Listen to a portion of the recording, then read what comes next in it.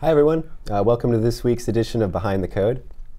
This week, we're talking all about the new uh, Google Analytics v3 mobile SDKs.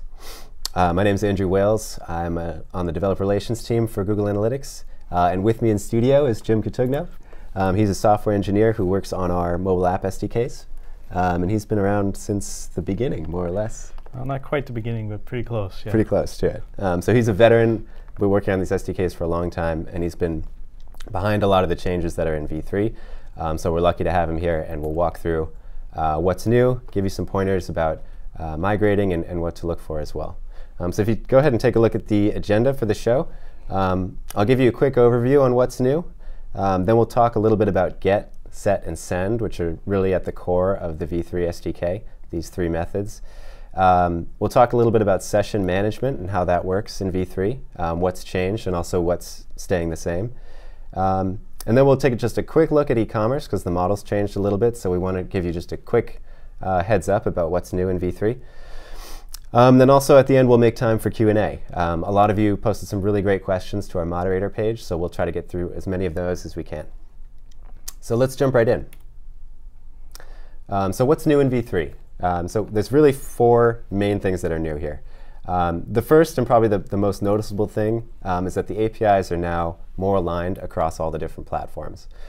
so you'll notice that uh, Android, iOS, and also Analytics.js, our web uh, our library for, for JavaScript, is they're all very much similar in how you use uh, or how you get, set, and send data. And we'll, we'll go into that a little bit further, I think.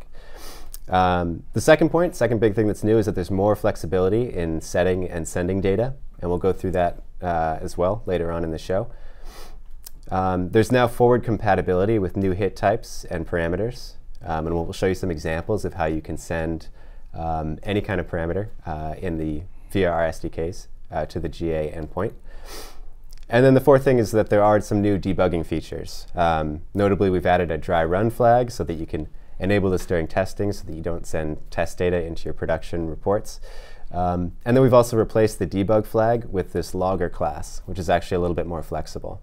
Um, if you want to learn more about the debugging features on this, go ahead and check out the um, migration guide on the developer site, which is developers.google.com slash analytics. We're not going to cover them in today's presentation, but there's a lot of documentation there, so go check it out. So let's take a closer look at um, the first point. Um, API is now aligned across web and mobile, across all these different platforms.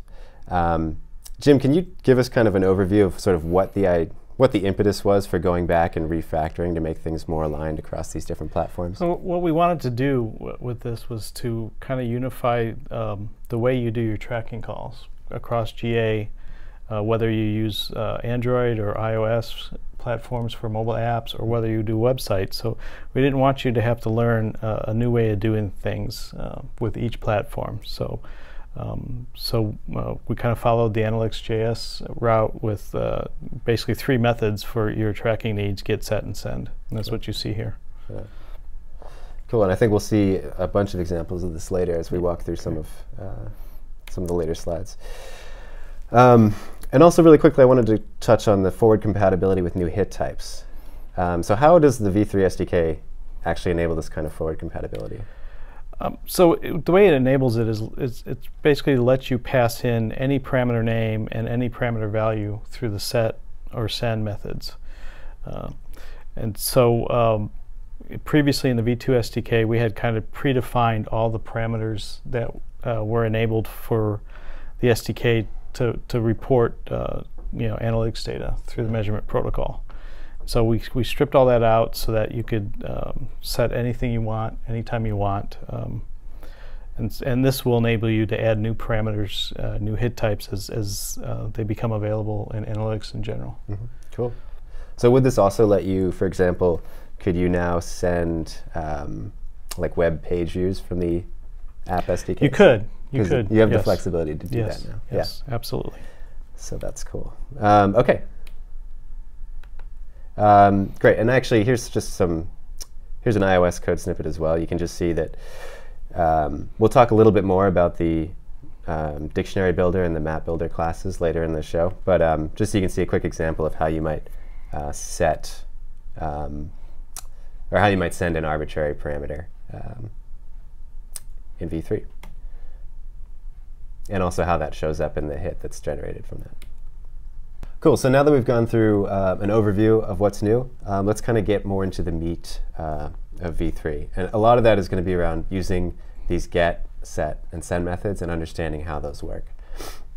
Um, so let's start with just a quick overview. Um, Jim, can you give us kind of like an understanding of what the change is from V2? Because I know in V2 we had a lot of so convenience v methods. Right, right. So V2 we originally started, excuse me, with um, uh, method calls uh, that started with track actually, not just send. Mm -hmm. So you had a track view, track event, track exception, uh, and then we changed those to send to be more, uh, you know, more in line with what we were doing. Um, um, but for V3, uh, as I said before, to try and, and um, align with the other platforms, the other client platforms, we got rid of all those special purpose send methods and replaced them with send. So instead of send view, we have send, and then you would pass in the, a map of parameters or a dictionary in the iOS case mm -hmm. that uh, represented your, v, your app view hit, and then same with event, transaction, exception, etc. Um, and then set, we had um, we had very specific set methods for things like setting campaign, custom dimensions, right. custom metrics, and those all are replaced by a general set method, uh, which will take the field name and the value. And then forget, uh, this is a little bit new to the SDKs in that you could actually query the values of the, the tracker objects that you've previously set or um, or are, are, will be set for us on mm -hmm. your mm-hmm. behalf. So pretty much any field can be set or retrieved from the tracker, right? That's correct, yes. Yeah. Okay. So let's talk, I guess, um, let's start with send, because that's probably the command that most people are going to be using yeah. most often. Um, how does it work, basically? so send sends very straightforward. It takes a, a map uh, for the Android SDK and the iOS SDK would be a dictionary yeah. of parameters. Parameters uh, have a name and a value, and they're both treated as strings. So we no longer deal with uh, various object types like uh, integers or floats or longs. Everything is is um, a string uh, for the send parameter or send uh, method. Sorry. Um, and and then um, so uh, when you call send, what happens is um, the values stored in the tracker are merged with the values provided in that map. Um, the values in the map will take precedence over what has previously set in the tracker. And then the, the hit will be queued for dispatch. Um, and then you don't have to worry about it at that point anymore. Right, right. One of the one of the cool things in V3 that I definitely wanted to highlight for people was that it's actually um, pretty easy to build these maps of parameter value pairs, right? We have these map builder convenience classes.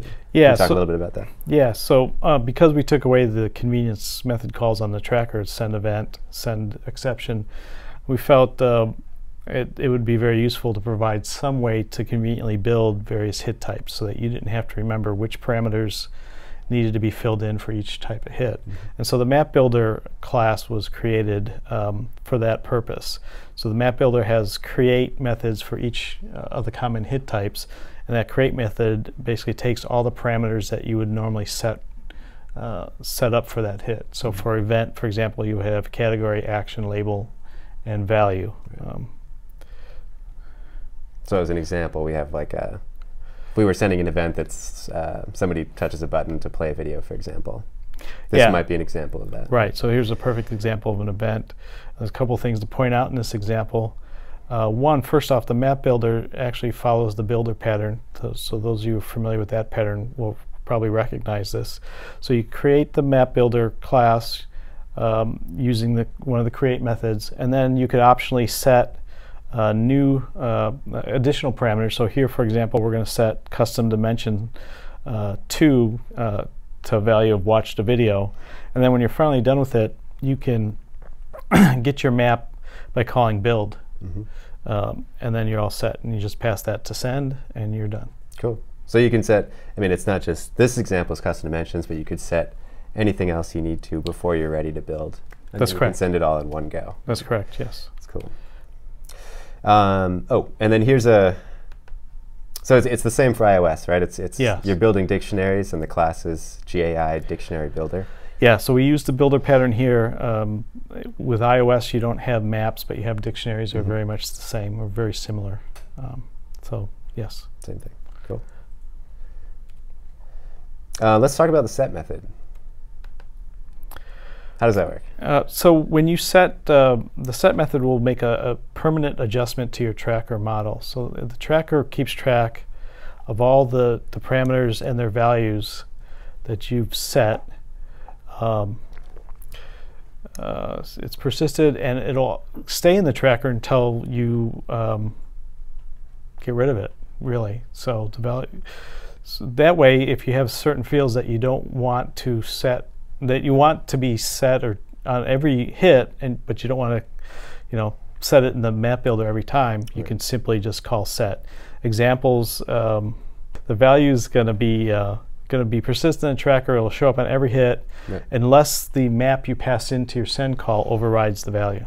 Right, because it'll Right. take precedence over what's set on the tracker. And if you don't want to set that value anymore, what you can do is pass null or nil in the iOS case as the value, and that field will get cleared out effectively. Okay. Cool. I think it's an important thing to, to point out that when you set something on the tracker, it's gonna that value is gonna persist uh, sort of indefinitely until you destroy that tracker or until you override that value. That's right. That's Um, right. So I think I know we were talking about before this. Like there are definitely some good places where you'd want to set certain values um, directly on the tracker that are going to be applied to a lot of hits. Um, so one of the examples that I know we talked about was, um, for example, here, um, if you, whenever a view or a screen gets loaded, um, it's convenient to set the screen name uh, first, and then you can send all your hits after that. So in this example, we set the um, screen name field to home screen uh, when the view loads. And then we're going to send an app view and we're going to send, to a, send an event. And both of those hits are going to contain that screen name. I only had to set it once. That's right. Yeah. And, and this is very important. Um, just like in the web case, if you want your events to be tied to a particular screen, Right. this is how you have to do it. Otherwise, Right. your events will not be attributed to that screen. to a particular screen, right? Yeah. Um, or I know some other good examples were um, setting settings like uh, anonymize IP or setting a sample rate, um, because those are tracker level settings, right? Right. So when you set those, you probably want them to stay set Yeah. for the duration of your tracker, Right. and right. so that those are good candidates for set call, set uh, call in the tracker. Yeah. And then there are some bad places to use this, right? Places, um, basically, when you when you use this to set fields that you really are only going to send once, um, I think that's probably where most people will run into trouble. Yeah, that's correct. Um, so I know the example we talked about was um, an event action. So if you have some kind of handler, um, and you happen to set uh, an event action or any of these like event uh, fields, those are really only going to be applied. Those should only be applied to that one event. Um, but if you set them right and then send other events, um, if you don't provide values, you, you could well basically you're going to end up setting those event fields with every hit, which is probably not what you want. Right. Yeah. So uh, yeah, this is a bad example of, of what you would use the tracker set method for. Right. That's- that's And then another uh, mistake I know I made once you pointed out earlier was, and we'll talk about the session control uh, field a little bit later, but that would be one um, you have this ability to start or stop a session by setting this field, and if you set that field directly on the tracker, Yeah. you're going to be starting a new session with every hit, which yeah, which you do not want. a disaster. Right? That's right, And. I made that mistake. Do not want that. Please don't make that mistake. Cool. Okay, so lastly we talked about send, set, and then the last one's get. So the tracker is, is a model, and, and you could use it to retain values of, of the various parameters that, that you want to send to Google Analytics. So the get method lets you query those uh, those values that you've set previously. So it, I guess the other thing point to bring up here is that um, if you haven't, the, the, the tracker has this concept of what we call uh, default values for certain fields. So there's some fields that you really want to always set in the application world, things like the application name, the application version, Right. uh, the client ID is another good example. Um, so we'll pre we'll fill those in for you if you don't set them using the set method or pass them through uh, through the map Mhm. uh, in the send call. And so if you call get on those particular fields, um, we'll give you the value we will provide if, if you haven't set the value. So Right. So for example, if you want to, if you're curious to know what application name we're going to send with each hit, Yeah. call get on the application name field, Got it. and you'll see it. So what about a field that doesn't automatically get set? Like if you called get on like campaign source, is it an empty string? Yeah, it'll it'll be I, I believe null No. Okay. So- or nil. or nil in the iOS case. Correct. Um, and we so we should definitely get a list of those default values. We'll make sure Yeah. to get that on DevSite because I think right now it's not there, Yeah. um, but we'd like to see that get posted. Uh, the, the final note here is client. I know se- several uh, uh, folks using the SDK have asked for us to, to expose the client ID that we send, and, and we've done that with the V3 SDK. There's one uh, very important caveat here: is all these calls are non-blocking calls, except for uh, when you call get to get the client ID, you may block. So, um, especially early in the life cycle of the application. So you won't want to make this call in your initialization code on the main UI thread. Is that going to block because it's reading from? It's yes, because it's reading the client ID is persisted on uh, the persistent store on the device, Right, right. and it takes a little time to read up. Cool. Um, and then lastly, so I think throughout, as you call these different methods, you're going to be providing fields pretty much with every call. So I th- thought it deserved maybe just a slide to talk about um, what these, like how you access these fields. Um, So we yeah, yeah go ahead. okay. So we provided um, some classes that um, define constants for the for all the fields that you would commonly use in the application tracking uh, world. Um, and they're in the fields.java class. Uh, and there's some examples there on the slide. Mhm. in iOS, it's a GAI fields uh, header file. Um, we've also provided uh, convenience methods for creating uh, parameter field names for custom dimensions and metrics. As, as you know, those are repeated fields. They have they're like index, so you have custom dimension one, custom dimension two, Right. etc., etc. Cool. And so we have some convenience methods that will build the parameter name for you, so you don't have to figure it out for yourself. Cool. And then the last one is sort of what we talked about earlier, where you can um, use this like ampersand syntax to get, set, or send any parameters, right? Yeah. So um, the the tracker understands the ampersand syntax, and so basically, if you look at your measurement protocol, uh, all the all the the uh, parameters there um, can be can be set using the ampersand. Cool. And so this ampersand t, for example, would be the hit type. for a hit type, right? So this would be like an example for a new hit type that we release in the future. Right. But you could send, as you said, any measurement protocol Yes. parameter this way. Let's talk about what's new uh, in session management in V3, um, and also what's the same, because some things I know have changed and some Yeah, things are the same. Um, so Jim, why don't you walk us through um, everything we need to know really about session management in V3? I don't know if it's going to be everything. Well, a lot of what we hopefully, need to know. hopefully, we'll clear the air a little bit about sessions. Sure. Okay, so um, in Universal Analytics, uh, there was a change. This is like outside the, the realm of the app SDKs, but uh, session management moved from the clients to the back end. Um, so the back end for Universal Analytics, which includes the V2 SDK and the V3 SDK, the session management is handled by the back end. And the way it does that is it looks for a gap in time from one uh, hit to the next. And when that gap is large enough, it will declare the end of session and start a new session. So the default value was 30 minutes uh, initially, and that default value is now configurable through the management UI um, on the Google Analytics uh, website. And if you look at the slide, you'll see um, a screenshot of, of what the, the page looks like that lets you control the session timeout. Session timeout's kind of on the upper right of the picture there. Yeah, and then campaign timeouts there as well. Yeah, campaign timeouts there as well. That's correct. Yeah. Okay. So in, in the V2 SDK, um, in order uh, to get around that 30 minute uh, window, which was the only window that the backend would support initially, uh, we decided to add support uh, in the SDKs for controlling sessions.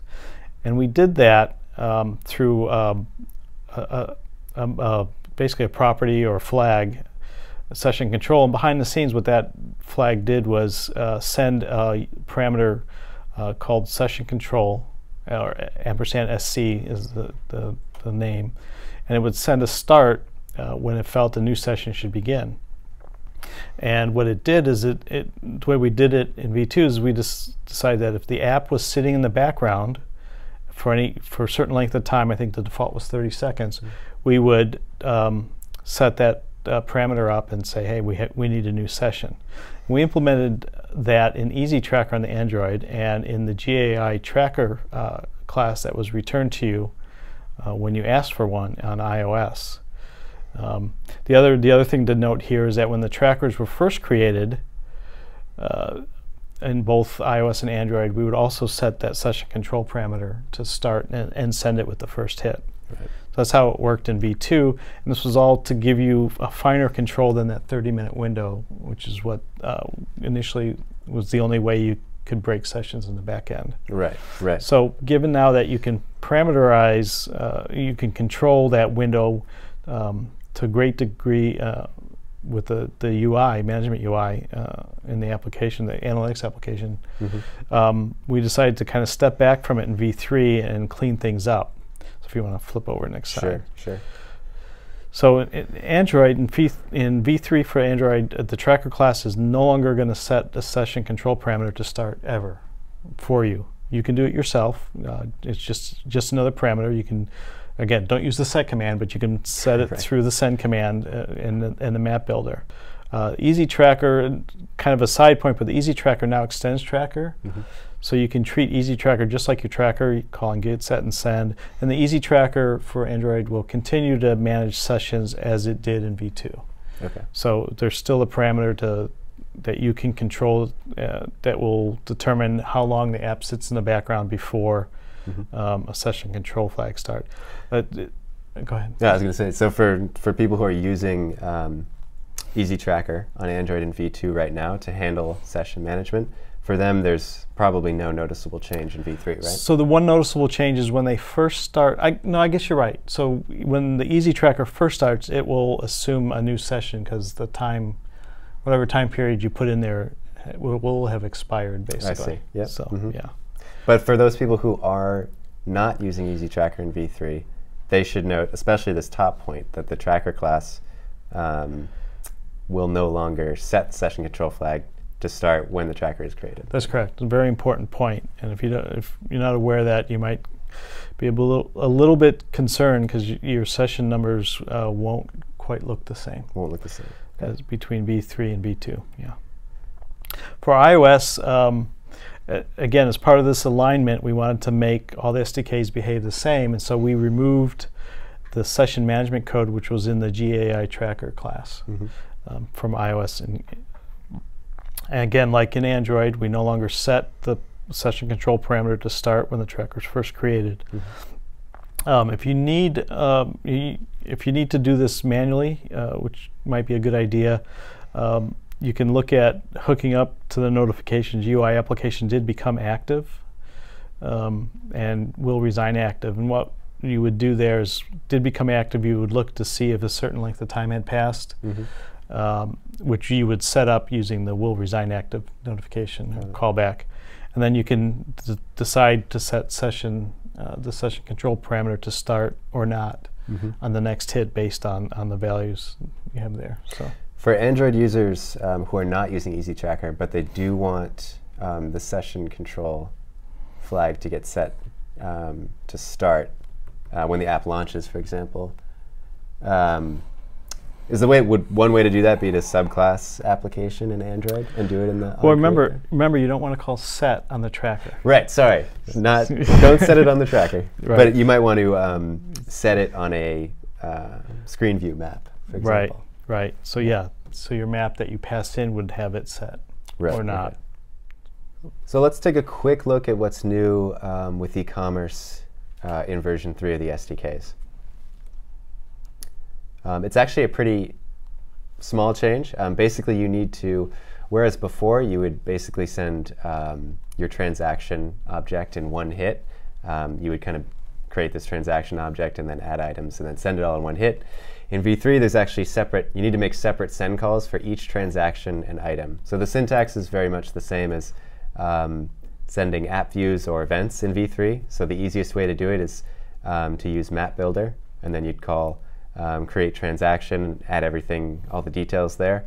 Um, build it, send it, and then do the same thing for your items, all of them. Um, one thing to, you know, as always, make sure that the transaction ID in each item um, matches up to the transaction ID that you used in the transaction hit. Um, but other than that, all the fields are the same. It's just that you need to make make sure that you're calling send for the transaction, and then also call send individually for each item. Okay, cool. So let's uh, let's take some of your questions. Um, so the first one, um, Jim, uh, can you please explain the relationship between sessions, session duration, uh, and how active users are determined? Uh, it's kind of a big question. It is a loaded it's, question. It's, it's a universal analytics question. Yeah. uh, But I guess I'll take a stab at kind of explaining it a little bit, and um, hopefully maybe we can get uh, some updates on the on the web the website uh, that really kind of goes in this in depth. Um, but so a session is is, is basically um, a set of interactions a user has with your application. Um, that can be considered like a single visit to the application. So, um, and those sessions will be made up of one or more uh, what we call hits or beacons in, in analytics. Um, the session duration is measured more or less from the the time that passes between the first hit is sent or is generated and the last hit is generated. And then active users are basically the number of users who send one or more sessions during the particular reporting period in question. So that's kind of So if session, simple answer. if Simple- session duration is, uh, what, what would happen in a session with one? So you said that we kind of, to get the duration, we look at the first hit and the last hit um, to get the duration. But what happens if there's only one hit in a session? well, then the duration is going to be zero. It's set to zero. Okay. So- Um, So if you have a lot of sessions that are looking like they're zero seconds in length, that's what it is. that might be what's going on. yeah. Okay. Cool. Um, so next question: um, Could calls, uh, especially event calls, be batched uh, at dispatch time in one single request?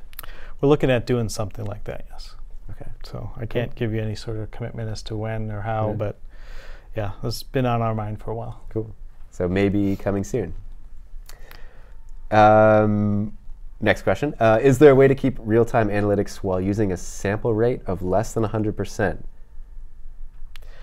Well, so real-time analytics takes the same data that you send to the, the website for the reports and just gives it to you a lot more quick uh, quickly than you would get it otherwise. Right. So um, your real-time analytics uh, data should be very much the same as your report data. So uh, you know, as long as you have a large enough sample, um, if your sample rate's less than 100%, I think real-time can still be useful Right. right? Obviously, you're going to have to scale uh, the numbers in your head or whatever. So we report the raw numbers. We don't report the sampled numbers. So, for example, if you see 10 and your sample rate is 10, you could reasonably infer that you have 100 users of see, your yeah, app at yeah. that time. Right. So basically, the sample rate is going to just limit the number of hits that get sent from the client. But the Right. real-time reporting Right. isn't going to. It's not connect. I mean, it'll show all the hits that make Right. it. But if your Yeah. sample rate is 50%, you're only going to see one hit in real time instead of two. I guess the other important thing to point out here is that the sample rate actually uh, is based on the visitor. So a particular user Mm. or visitor to your app will either report all their interactions or none of them. Or so none. it's so it's not like you'll see like half the events this user's Mm, generated. a You'll see them all if the user's um, going to report based on the sample rate. Um, so I have another question here about the um, new combined Google Analytics Services SDK. Um, so with V3, um, we're sort of um, giving you analytics, but also Google Tag Manager together. Um, so the question here is, will there also be an SDK version without Google Tag Manager? And they're concerned about the size of that combined SDK. So, uh, so Google Tag Manager and Google, Google Analytics are like one product. They're just two different ways of, of doing uh, things. So we're not going to have a separate SDK at this point. Any, so there will always the SDK going forward will always include both Google Tag Manager and Google Analytics. Uh, I wouldn't worry too much about the size. Uh, Um, if you're doing development in iOS, for example, um, the Xcode will strip out all the code that's not that you don't use, so your actual final binary will be smaller than you would expect. And if you're using something like ProGuard on Android, you'll get the same benefit. Same thing. So even though the SDKs are larger, uh, the code that you your app code shouldn't get larger as a result. Mm. Should be based. As a matter of fact, the iOS SDK, for example, the V3 version is actually smaller than the V2 version, Mm, okay. even with the Google Tag Manager merge. So then the end result's actually better for you. Cool. All right. So Uh, Jim, any idea on when real-time events will be added to app properties?